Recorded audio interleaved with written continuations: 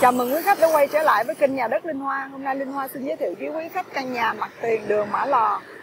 Đây là căn nhà mà em giới thiệu với quý khách đây. Có diện tích ngang năm dài 27 m. Nhà hướng đông, vị trí vô cùng đắc địa, khu vực sầm uất. Lưu lượng xe qua lại rất đông. Từ uh, khu vực này, từ vị trí của căn nhà này đi ra bệnh viện Bình Tân tầm khoảng 300 mét đây rất và nhộn nhịp. Vị trí ở nhà đang cho thuê. Làm salon sale. Đối diện với ờ, nhà là khu vực căn hộ cao cấp Lê Thành.